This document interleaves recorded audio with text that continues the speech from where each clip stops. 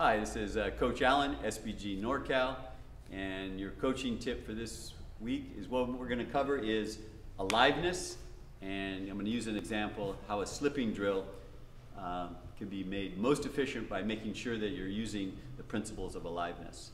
So first I'm going to do is I'm going to show you what aliveness isn't. So I'm going to have uh, one of our coaches, uh, there he is, Junior, come on out here. So in slipping punches, right, learning to move your head in the correct direction, it's fundamental that when he's trying to put his chin, my, his glove on my chin, I'm going to move my head out of the way. But absent real aliveness, I can perform this drill like I am right now with my eyes closed and have the same rate of success because there's no timing involved in that.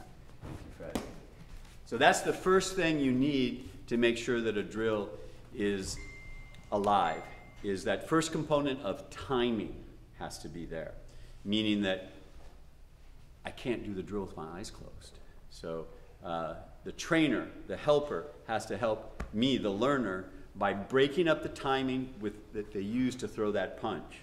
So timing, motion, movement, that's where the partner, the partners are moving around the mat. We're going to add that element later in the drills, you'll see that. But then also the energy, and that is, uh, let me get Fred back out here again, and that is that he's really trying to put his glove on my face, right? And he's not hanging his hand out there, but you notice that it doesn't hurt, right? So he doesn't need to be trying to knock my block off for me to be practicing with aliveness, but he does have to be trying to touch my face with his glove. Okay? So let's uh, get our first group out here and drill this up. Bring a hoop. Got two pairs. So trainer, you got your foot in the in the uh, hoop. Let's go ahead and bring these a little closer together. that's good. Uh, and you just watch out for each other. So we're just going to train the jab, right? Just going to train the jab. And remember, the fundamental skill is when the jab comes, I want to move my face to the outside. If I make the mistake of going to the inside, I'm just going to duck and bring my head back out. Okay? So, timing and energy. You got to try to touch him with the glove, and the timing has to be broken up so that they have to actually see the punch to know what to do. Okay? Let's try that. Don't switch roles till I say. You can move a bit. Move around a little bit.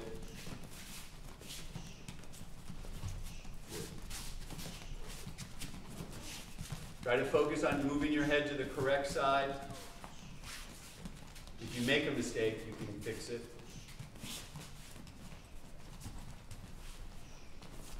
Good. And switch roles.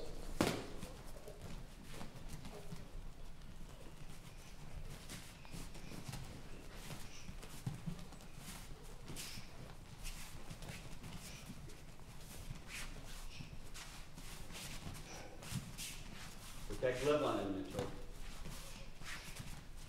And time. Good. Okay, so that's how we slip the jab. Let's uh, uh, switch up our training partners for a minute. Uh, Mitchell, I'll have you step off. Ethan, come on in here. And now we're going to work the same thing, but with the cross. Okay, with the cross. Ethan, why don't you go with Junior, Christian, and uh, Santos? You guys will be partnered up. So you're going to be the the learner first. That means Junior's got his foot in there. Okay, then when I say switch roles, and you put your, uh, and I prefer you usually have the back foot. Have the back foot. Okay, so we're working the cross, that backhand. So you want to put your head to the outside. So you're going to move around, break up the timing, touch gloves, train. Eyes open, move around a little bit, Ethan.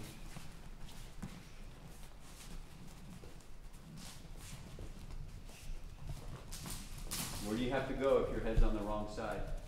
Where do you have to go? Right. That's right. Good. Keep your eyes up on him. Switch roles.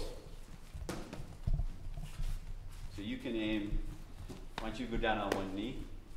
So you don't get to do as much footwork, you have to focus on the head. So you're cross. Right, try to put that glove on him, Ethan. Step out there and put that glove on him. Let me see you hit him right now. Don't move. Okay, so you can do it. So you got to move.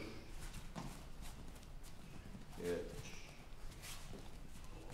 And time. Okay. So, forgetting guys.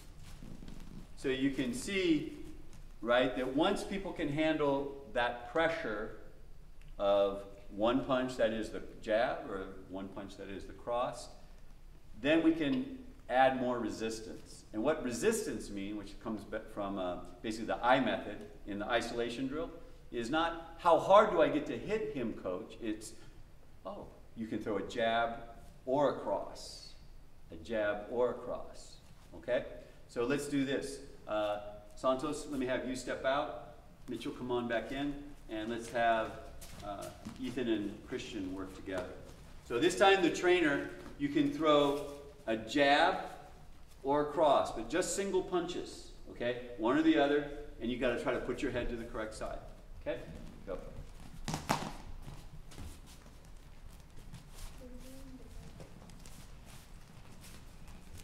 Eyes up. Good. Try to keep your eyes on him. Good. Move around. Good.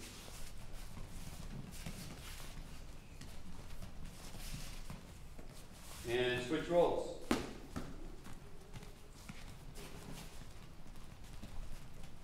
You put your glove on him. Kind of hard to reach his head, huh? Yeah. It's okay. Do your best. That's right.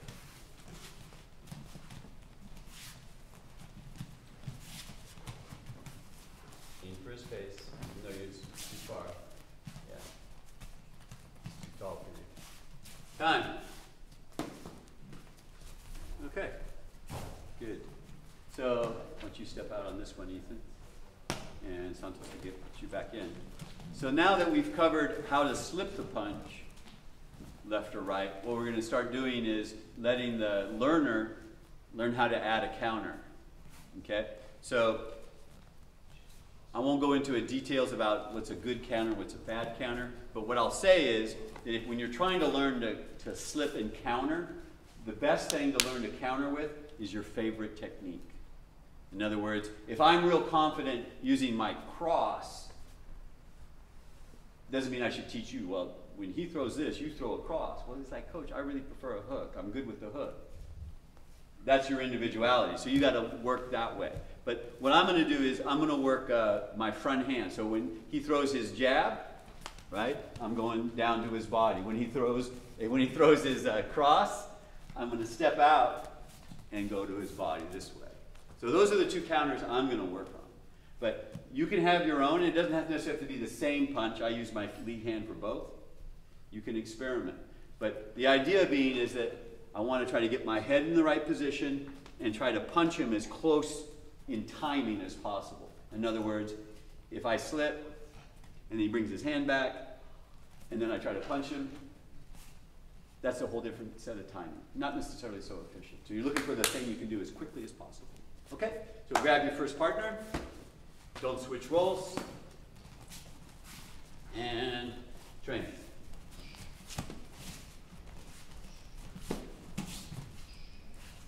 And you may not, shouldn't be able to counter every punch, right? You're throwing lefts, you're throwing jabs sometimes, you're throwing right sometimes.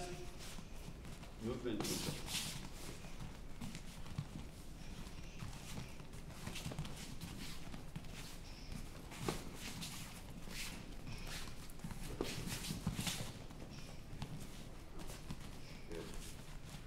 Roles.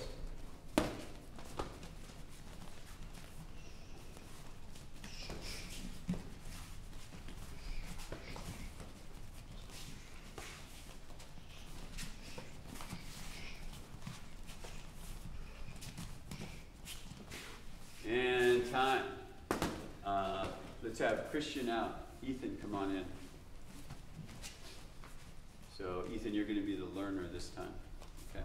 So you can use punches or kicks. So this time, guys, uh, what I want you to do though is gauge your learner's success rate.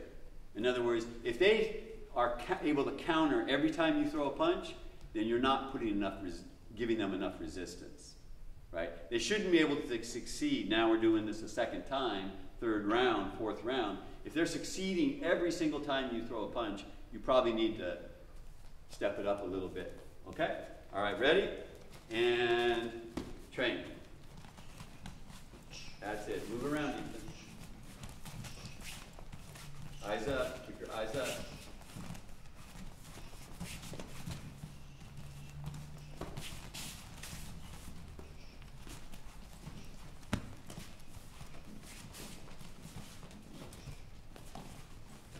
Get your head out of the way, Ethan. That boy. Okay, I want to see you punch him back as possible. There you go. Up, yeah. And time. Switch roles.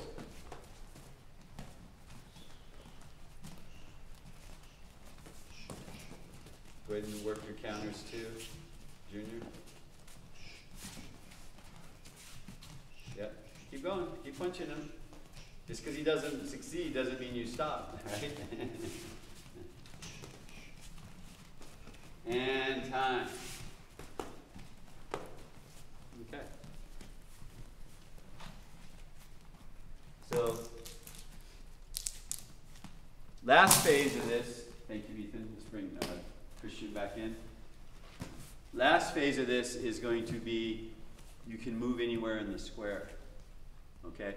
So one person is going to be the trainer. That is, they're throwing straight jabs or crosses, not mixing it up a bunch. Like you know, just show them some stuff, um, and both people can move freely in the square. And the learner, you're going to work to try to counter. Okay, you're going to work to try to counter, slip and counter. So, and remember, the the point of slipping is if Fred goes to punch me here, I want to try to hit him back as soon as possible. Right? That's our goal. It's not going to happen. But, you know, I mean, just doing this and then punching back, you know, timing is different, it's safe, it works. But what our goal today is to try to slip and hit as soon as possible after that slip. Okay? Make a decision who's the trainer and who's the learner. So this is isolation. Don't switch roles. Stay in the square. Train.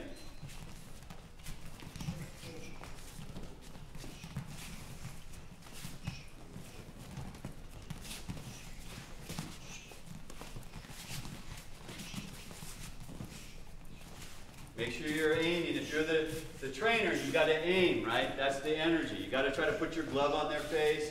You got to try to bring your hand back. Switch roles.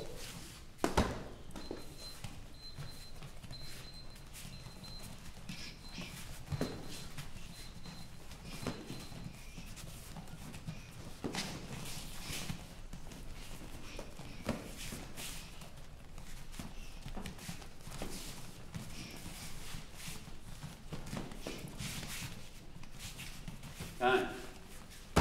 Switch partners. Okay, so this time we're gonna up the resistance. We're gonna up the resistance because the trainer, you can throw two punches. You can throw two punches. So it's not just a jab or a cross, but you can throw a cross jab, you can throw jab cross, like that. Okay? So you can see that by changing the type of, of uh, movement we give the trainer, that's what ups the resistance. Okay? Ready? Make a decision. Who's trainer? And start. So remember, you can throw one or two. One or two. Try to put that glove on it, Christian. Yeah.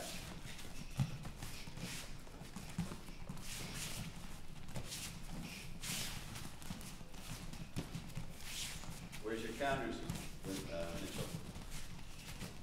Try to counter. Don't, don't give it to him. Don't give it to him, Christian. Ones and twos. Switch roles. Ones and twos. Throw some two punch.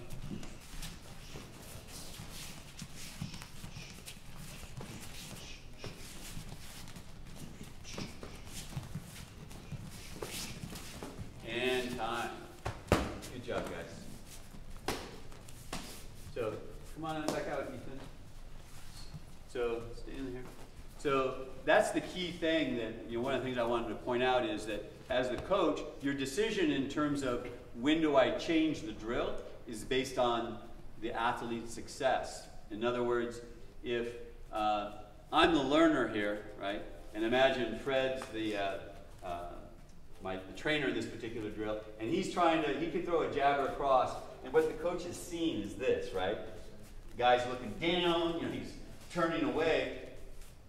Well, if, if I can't handle just the jab correctly, that is keeping my eyes on my opponent, keeping my guard up, and I'm not turning away, it's not time for the coach to say, okay, this time throw the jab or the cross, right? It's like going into the gym and wanting to lift weights and you fail trying to bench 200 and you say, well, let's put some more plates on. It's like, no, it's not going to work. So, so aliveness, timing, energy, and, and mo movement, motion, and then apply the I method where you use progressive resistance, which means not how hard do I get to hit him, coach, but what type of resistance. So this is SBG NorCal, and remember, it's SBG, what's going to be? To be okay. Thank you.